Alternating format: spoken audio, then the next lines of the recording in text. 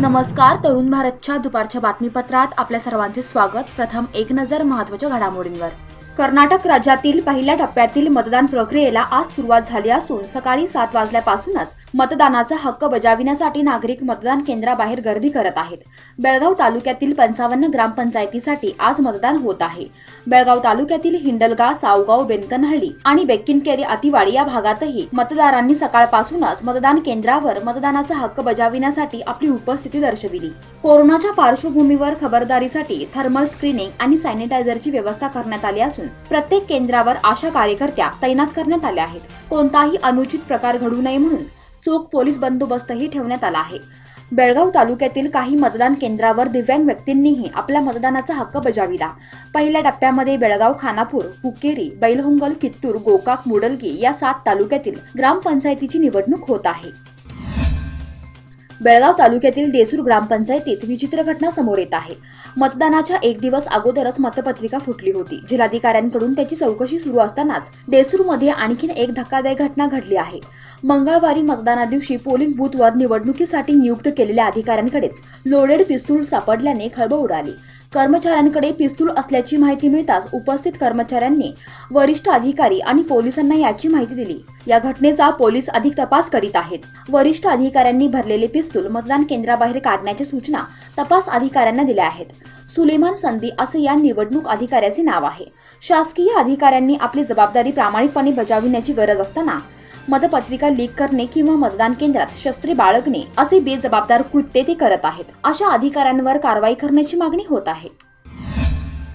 बेळगाव तालुक्यातील पंचावन्न ग्रामपंचायतीच्या निवडणुकीसाठी आज मतदान होत आहे. या पार्श्वभूमीवर मतदान केंद्रावर अनेक मतदारांकडून सोशल डिस्टन्सिंगचे पालन होताना दिसत नाही. अशाच प्रकारे हिरेबागेवाडी येथील एका मतदान केंद्रावर काही उमेदवारांचे समर्थक गट करून मतदान करण्यास आले होते.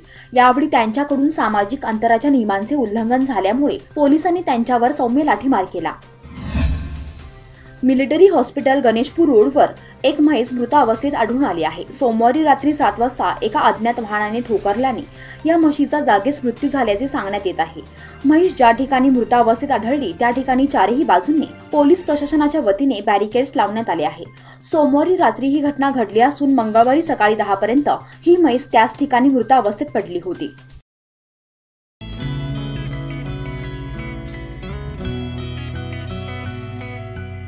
कधी कधी हे छोटे क्षण सुद्धा कोणाला तरी खूप आनंद देऊन जातात. गेल्या दोन दशकांपासून एक लाखाहून अधिक ग्राहकांचे आयुष्य समृद्ध करणारी Lokmanya multipurpose cooperative society limited सातत्य निरंतर.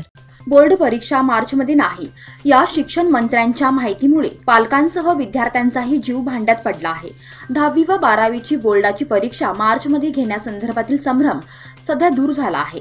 मार्चमध्ये होणारी परीक्षा लांबणीवर टाकल्याचे प्राथमिक व माध्यमिक शिक्षण मंत्री एस. सुरेश कुमार यांनी सांगितले आहे. थोड्या दिवसात चर्चा करून संपूर्ण वेळापत्रकही जारी केले जाईल असे एका वृत्तवाहिनीला फोन इन कार्यक्रमाद्वारे मुलाखत देताना सोमवारी शिक्षण मंत्र्यांनी स्पष्ट केले.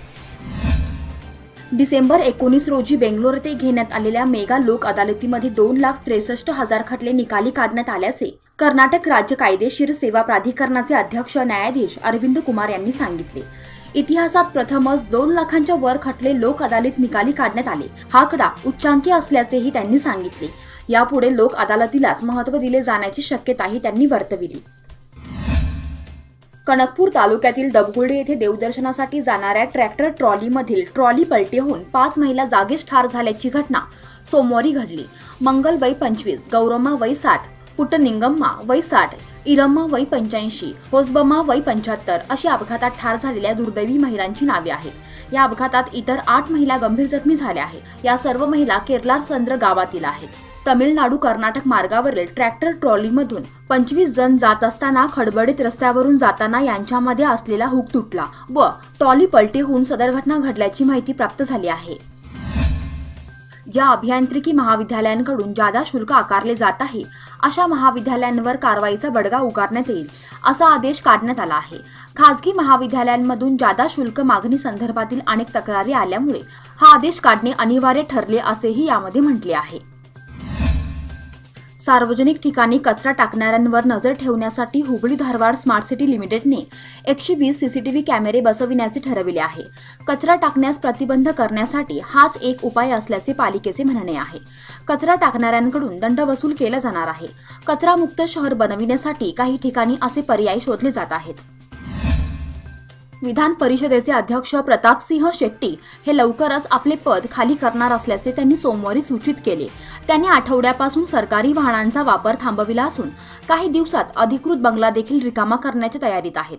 ते काँग्रेसचे सदस्य असून भाजपला जोरदार टक्कर देणे त्यांना जिकरीचे जात आहे. त्यामुळे त्यांनी हा निर्णय घेतल्याचे समजते. आता हे बातमीपत्र इथेच थांबवते.